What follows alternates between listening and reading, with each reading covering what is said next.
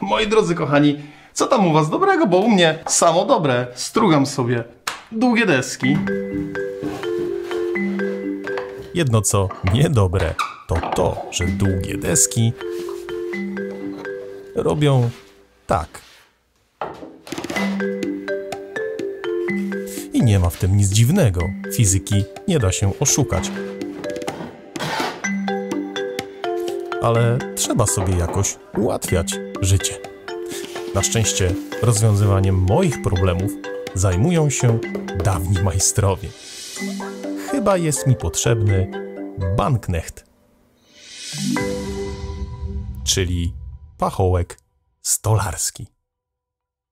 Banknecht to oczywiście gwarowa nazwa z Wielkopolski. Mówią na to również pachołek, słupek, podtrzymka, to w zależności od regionu Polski.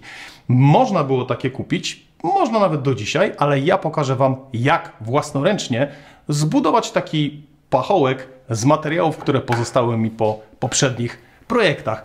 Akurat zostało mi trochę buczyny po budowie koziołków warsztatowych dla Woodmisera i właśnie z takiej buczyny zrobimy naszego pachołka. Wykorzystywanie odpadów drewnianych do budowy takich warsztatowych przydasiów jest w zupełności akceptowalne, a nawet powiedziałbym, że pożądane. Do pieca trafiają już ostateczne skrawki, chociaż i tak nigdy nie wiadomo, co się komu może przydać. Zaczniemy od stojaka, który wyglądem właściwie przypomina taki stojak choinkowy. Budowałem kiedyś coś podobnego.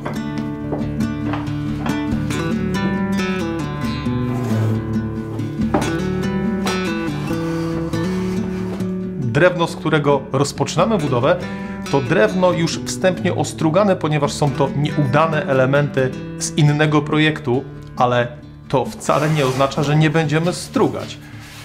Będziemy strugać niewiele i chwała Bogu, bo struganie suchej buczyny to naprawdę nic przyjemnego, uwierzcie mi.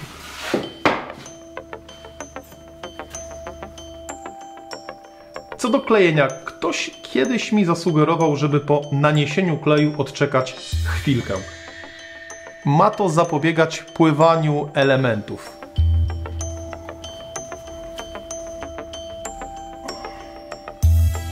Do dzisiaj nie ustaliłem, ile trwa chwilka.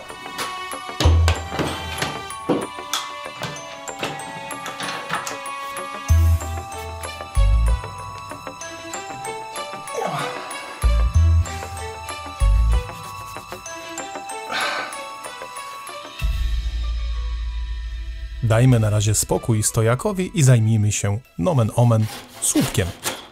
To również odpadowy kawałek buczyny, jak się zresztą przekonacie za chwilkę. Tym razem strugania było nieco więcej, ale na szczęście to tylko jeden słupek. Twardsze gatunki drewna trudniej struga się strugami drewnianymi. Tutaj zdecydowanie moimi faworytami są strugi metalowe, a w szczególności te duże i ciężkie. Masa robi różnicę. Dotnijmy jeszcze nasz słupek na długość i wróćmy do stojaka, bo klej właśnie wysechł.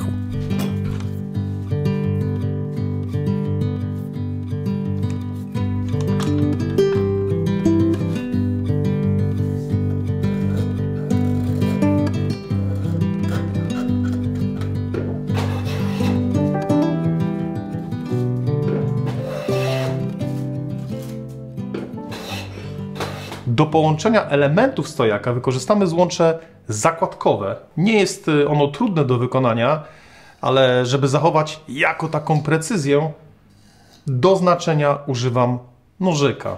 To najprecyzyjniejsza forma trasowania, jaką po prostu znam. Złącze zakładkowe składa się z dwóch identycznych gniazd. No i każde wykonuje w ten sam sposób, stosując prostą metodę na pozbywania się urobku. Do precyzyjnego spasowania gniazd używam tylko dłuta i struga. Nic więcej naprawdę nie potrzeba.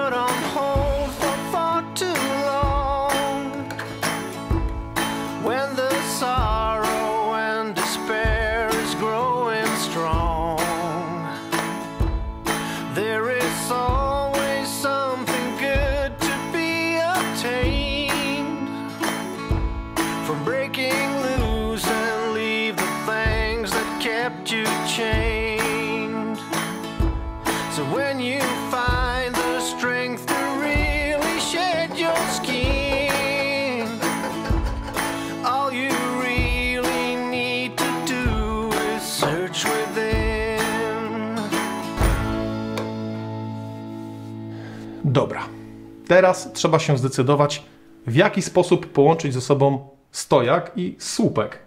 Jest co najmniej kilka opcji. Na przykład y, firma Ulmia stosuje tutaj połączenie podobne albo nawet identyczne, jak mogliście zobaczyć w filmie mm, o pobijaku, czyli przelotowy otwór i taki dosyć grubaśny kołek e, zabity klinem. To jest generalnie najłatwiejsze do wykonania stosując maszyny. Przy ręcznej obróbce chyba o wiele łatwiej będzie wykonać po prostu zwykły czop przelotowy, również zabijany klinem. Na pewno uzyskam dzięki temu jako taką osiowość słupka z krzyżakiem. Po prostu słupek nie będzie odchylony względem stojaka, bo to byłoby chyba najgorsze w tej sytuacji.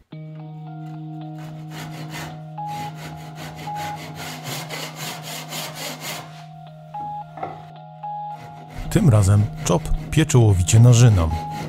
Zastanawiałem się, z której strony tego elementu dać w ogóle ten czop. Czy postawić na estetykę, czy maksymalną wytrzymałość. Postawiłem na estetykę, ale intuicja podpowiada mi, że z wytrzymałością nie powinno być źle. W każdym razie tego czopa nie dało się odłupać. Trzeba było go narżnąć.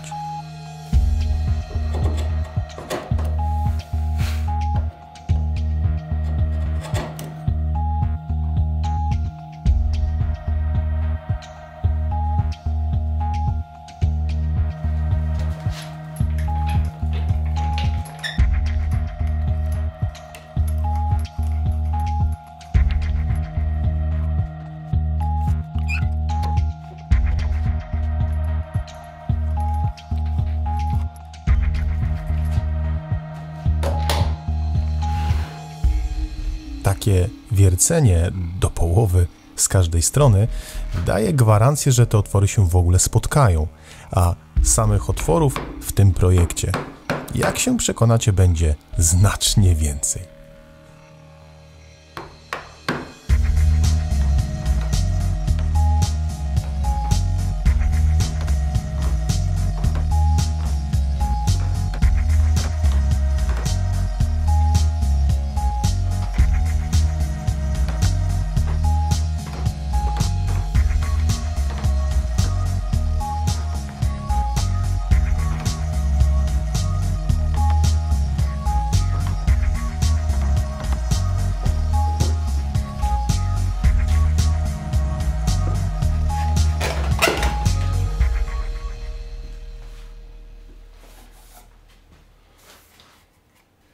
Jak Wam się wydaje, stojak nie jest trochę aby za duży? Mam wrażenie, że trochę jest nieproporcjonalny w porównaniu ze słupkiem i jednak go trochę przytniemy.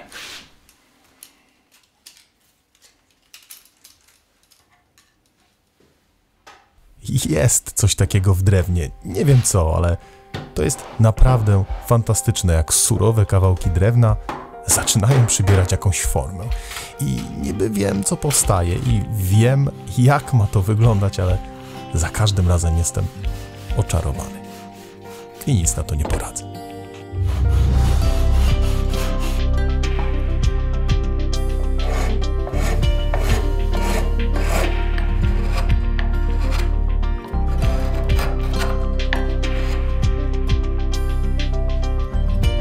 I pomimo tego, że te ozdobne zaokrąglenia absolutnie nie są potrzebne, bo przecież to tylko warsztatowa podtrzymka, to jednak nie wyobrażam sobie, żeby ich nie wykonać. Trzeba również zrobić podcięcia w spodniej części stojaka, ponieważ podtrzymka, nawet ta najładniejsza, musi stać stabilnie.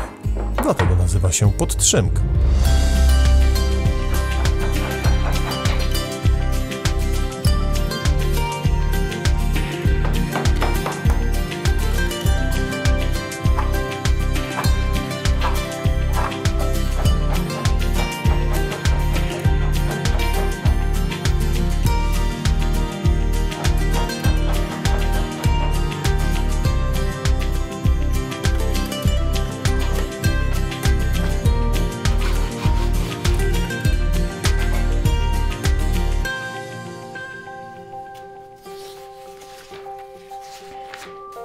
Słuchajcie, myślę, że to jest dobry moment na to, żeby wymyślić sposób mocowania, a nawet konstrukcji strzemiona, które jest właściwie newralgiczną częścią naszego banknechta.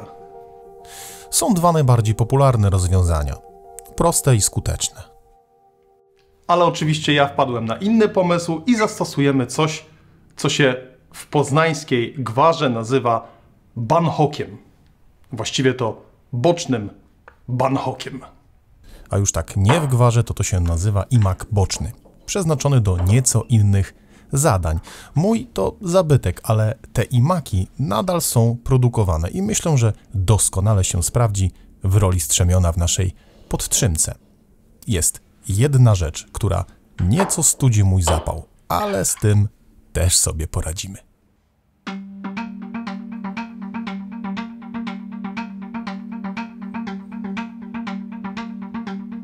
Pamiętacie, jak Wam wspominałem o tym, że w tym projekcie jeszcze się nawiercimy?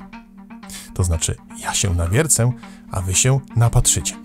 No to to jest ten moment, kiedy korba stolarska pójdzie w ruch. A w suchej buczynie to dosyć fizycznie wymagająca operacja. Ale ja tam lubię się nieco zmęczyć. Jak mawia Miłosz Brzeziński, w życiu guma musi być nieco napięta. Nie za bardzo, ale jednak.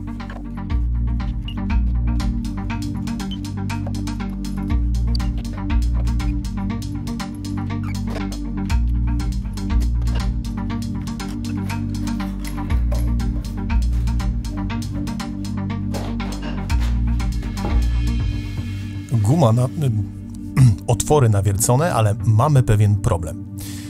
Trzpień strzemiona nie jest walcem. Jest zbieżny. W związku z tym otwory też musiałyby takie być. Żeby odpowiednio rozwiercić takie otwory, potrzebujemy dedykowanego rozwiertaka o odpowiednio dopasowanym kącie. I tak się składa, że zrobiłem sobie coś takiego.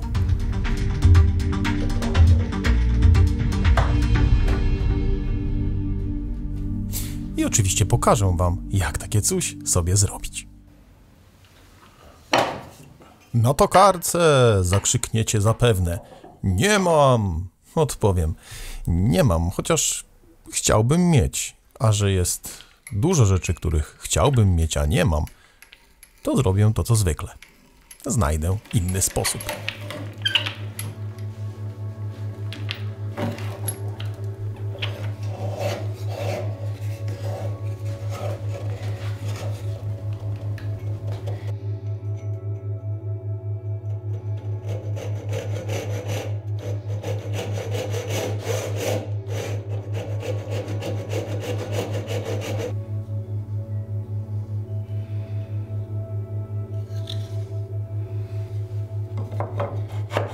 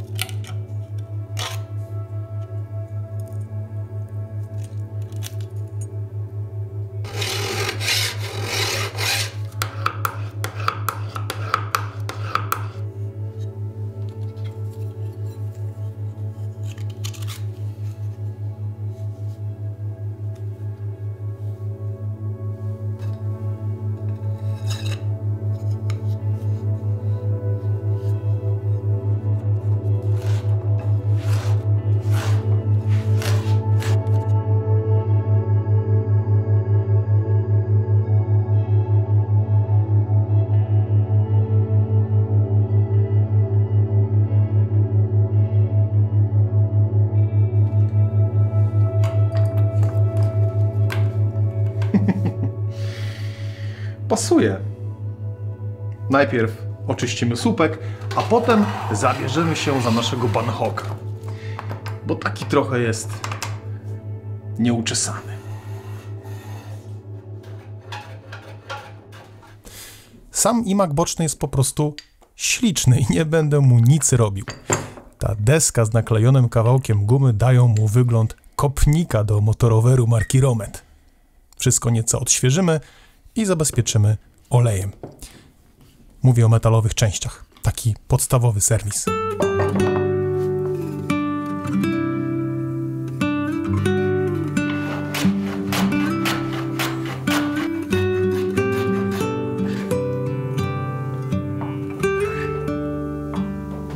Odznaczyłem sobie, w którym położeniu był przykręcany oryginalnie ten kopnik, żeby, wiecie, nie było jakiejś...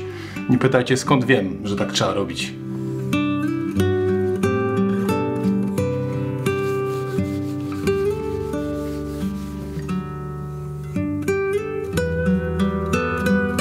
Aby ostatecznie połączyć słupek ze stojakiem, trzeba jeszcze popracować nad gniazdem.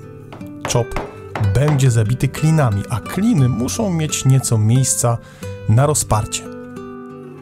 Sam czop również trzeba narżnąć. Nawiercam również otwory przeciwdziałające pękaniom w trakcie wbijania klinów. I tak użyłem mojej ukochanej 12-woltówki. Korba nie przyjmuje takich cienkich wierteł.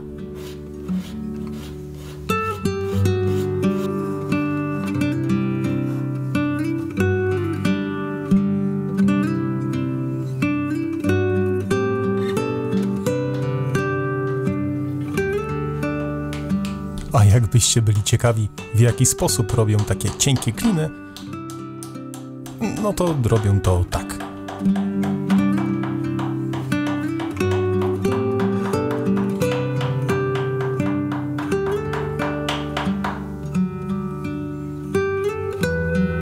Na sam słupek i stojak kładę warstwę mojego mydlanego wykończenia.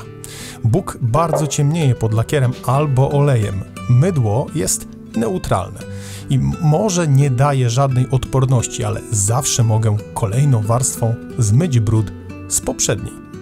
Tymczasem wszystko gotowe.